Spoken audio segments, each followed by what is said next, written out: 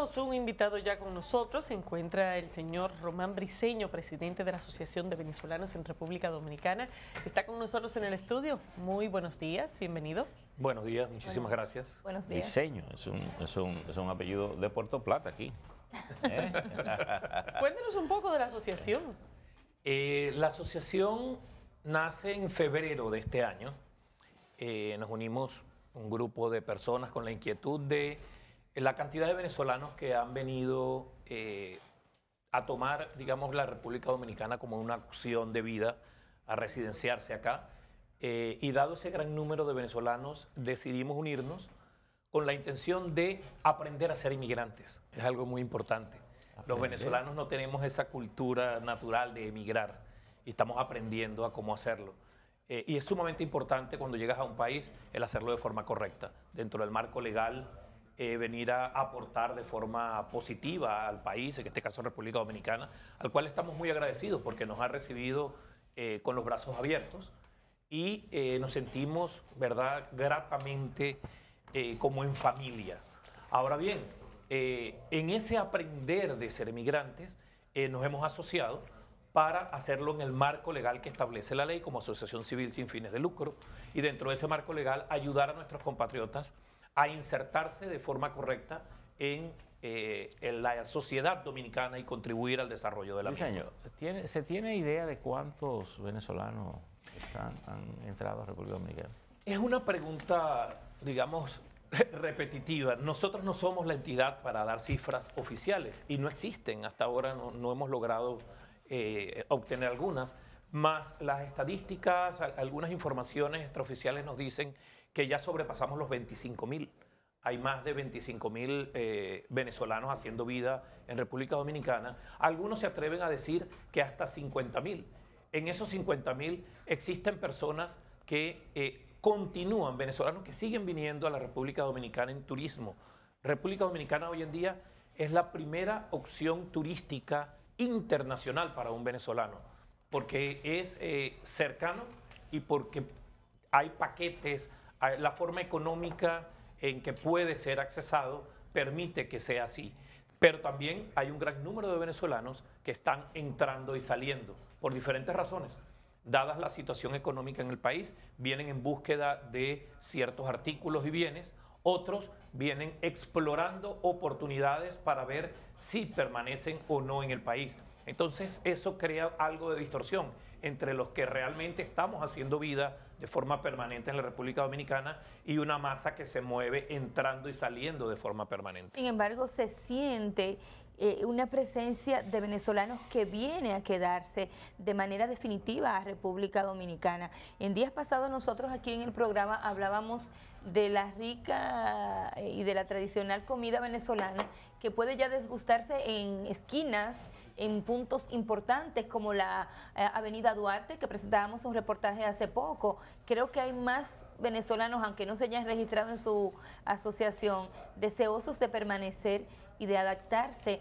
a la República Dominicana. Así es, es, es cierto y a eso me refiero. Hay muchas personas llegando en busca de oportunidades. Están evaluando las opciones, algunos, y es el llamado, parte del llamado que estamos haciendo como asociación, eh, han tomado el riesgo de simplemente llegar e improvisar y son las personas que consigues en, las calles tratando de ganarse la vida de forma honesta porque es algo que hay que recalcar. Muchas de esas personas que están hoy en día son profesionales, son ingenieros, son licenciados, son maestros, son abogados que eh, dada la difícil situación han llegado aquí y están buscando la forma honesta de ganarse la vida, pero es cierto, ha llegado un gran número de venezolanos y de allí eh, digamos, esta ronda que estamos haciendo, eh, agradeciendo a ustedes, a los medios de comunicación, para llevar el mensaje eh, de ambos lados, llevar el mensaje a nuestros compatriotas venezolanos de que emigrar es un reto y emigrar tiene consecuencias y muchas de esas consecuencias son legales. Existe en cada país un marco legal que debe cumplirse. Cada país es soberano de recibir o no a un inmigrante y eh, dentro de eso establecer tanto las regulaciones para poder accesar al país como las regulaciones ¿Cómo? para una residencia ¿Cómo legal. está funcionando el ingreso? ¿Se le exige visa a los venezolanos para ingresar? Al día de hoy no. No. El venezolano eh, llega al país y paga 10 dólares cuando llega y eso le otorga eh, una una, visa, una estadía como turista, sumamente importante, como turista por 30 días, la cual puede ser extendida a 90 días. Para eso debe pagar unas penalidades una vez que va a salir del país, acorde al, al tiempo que permaneció. Pero eso es lo que ha, de alguna forma, permitido que algunos lleguen como turistas y se queden en busca de oportunidades, pero hay que recalcarlo, fuera del marco legal. Tenemos que entenderlo. Como venezolanos eh, venimos de una situación difícil y entonces decimos, bueno, es que como yo vengo de una situación difícil, eh, pido solidaridad, pido ayuda y, y tienes que atenderme. Eh, realmente no es una obligación del Estado Dominicano, no es una obligación del pueblo dominicano, aunque lo han hecho y nos han recibido amablemente. Pero tenemos que entender que una vez que pasas de esos términos, estás fuera del marco de la ley, fuera del marco migratorio Eh, y debes buscar regularizar. A pesar, bueno, y si, sin pesar, ustedes vienen un poco corriéndola a la situación interna de Venezuela, pero ya en República Dominicana, ¿qué nivel de relaciones tienen ustedes con la Embajada de Venezuela en República Dominicana? Nosotros como asociación, eh, somos asociación civil sin fines de lucro, eh, y algo que nos mantiene como base y como parte de nuestro objetivo, no mantenemos afiliaciones eh, eh, político-partidistas, eh, religiosas. Eh, como embajada, la embajada es el representante de nuestro país. Eh, cuando hemos necesitado abogar por algún eh, venezolano que requiera de los servicios de la embajada, eh, hemos tenido una excelente respuesta por parte de la embajada.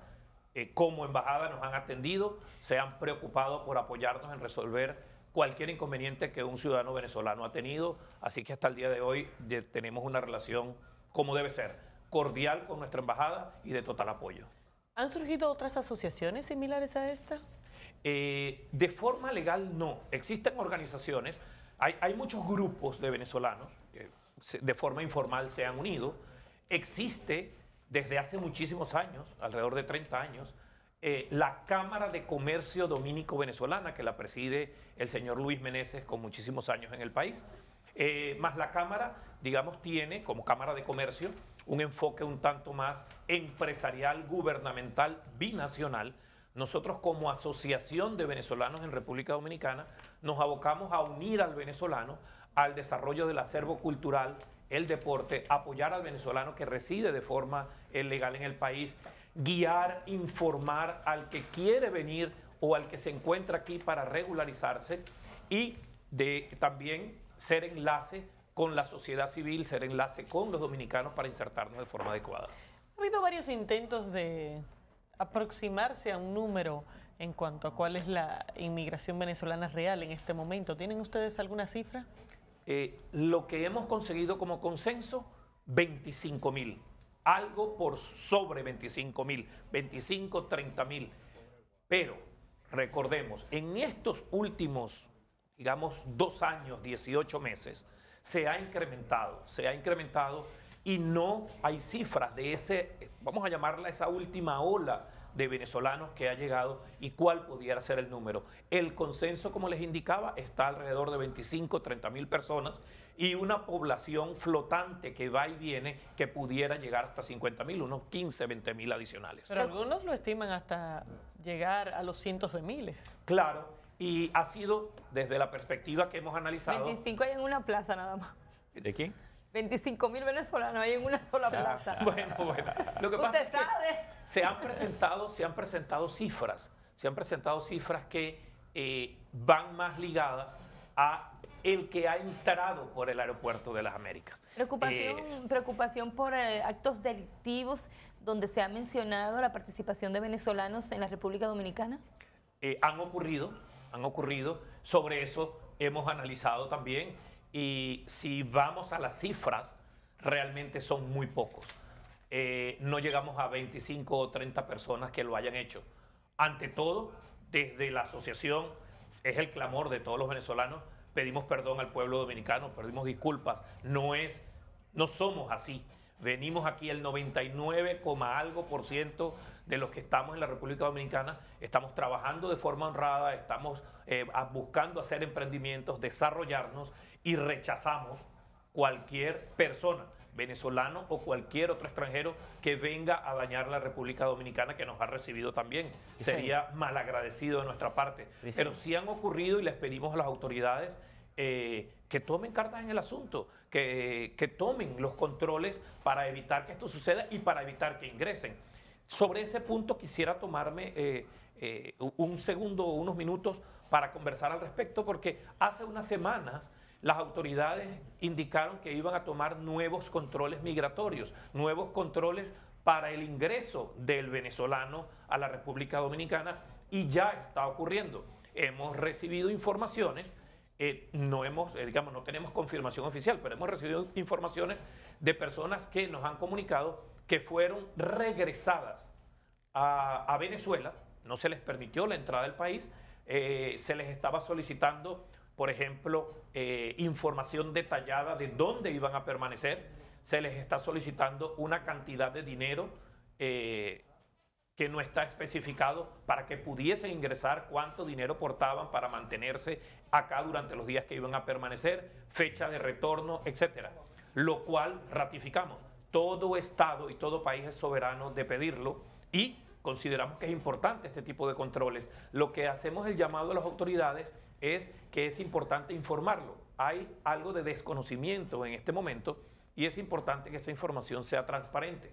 Que una persona que vaya a llegar a República Dominicana sepa que, mire, el requisito uno es que usted tiene que mostrar su boleto de retorno. El dos es que usted tiene que mostrar una reserva de hotel. El tres es que usted tiene que portar tanto dinero en efectivo por persona, etcétera, para que la persona pueda cumplir el requisito. Entonces hay algo de, desinformación y quisiéramos que las autoridades aclararan cuáles van a ser los requisitos que se le van a pedir a los, a los venezolanos para ingresar al territorio dominicano. Eh, final, finalmente, estuve en Panamá este fin de semana y en el siglo en el que me moví, el tema mm, reiteradamente era la presencia del gran número de venezolanos en Panamá. Eh, y bueno, aquí ese es un tema. Eh, pudiera pensarse que hay que estamos cerca de encontrar una, una solución a la razón por la que emigran tantos venezolanos de manera sorpresiva. Uy, qué pregunta. Realmente desde la asociación damos el apoyo que podemos para los que llegan. Como asociación nos abocamos a los que hacen vida en la República Dominicana. La raíz de la causa que está haciendo emigrar a los venezolanos es compleja y está en nuestro país. Son problemas sociales, son problemas políticos, económicos, eh, que sería atrevido hacer eh, algún tipo de, no sé, de planteamiento de una posible solución. Eh, hay, hay organismos internacionales tratando de mediar desde el Papa, desde el Vaticano, de parte de la República Dominicana el doctor Leonel Fernández forma parte de la mesa de ese diálogo y están buscando opciones para mejorar la situación en Venezuela. Como les indicaba, definitivamente el venezolano no es emigrante natural, está emigrando por razones específicas de la situación en Venezuela. Si la situación en Venezuela cambia, yo, todos nosotros consideramos que definitivamente ese éxodo se va a detener. ¿Cuándo y cuáles son las condiciones para que eso ocurra? Sería difícil establecerlas. Bueno, muchísimas gracias por estar aquí con nosotros. Gracias por venir. Despedimos al señor Román Briceño, presidente de la Asociación de Venezolanos en República Dominicana. Gracias por su visita. Muchas gracias. Señores, pausamos. Al regreso, el doctor Tirso Roa, presidente de la Fundación Nacional de Cardiología y vicepresidente de la Asociación Dominicana de Cardiología, estará conversando con nosotros. No se lo pierdan.